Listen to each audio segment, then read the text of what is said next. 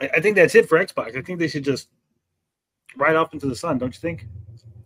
No. Isn't it about time? Where's Potion when you need him? Defending its honor. Just no. Well, what would Potion say in this situation? He would say, Guys, come on, man. It's got a lot of life left in it. That's what he'd say. And then he would say something about PS5 not having games. 60 million consoles sold. n- Not a single game, guys. Not a single game. What do they got? Nothing. PS5 just sucks, man. I'm gonna go make some chicken nuggets for my dogs. It's like, Sorry- it's like he's sorry, still with us. Never coming back.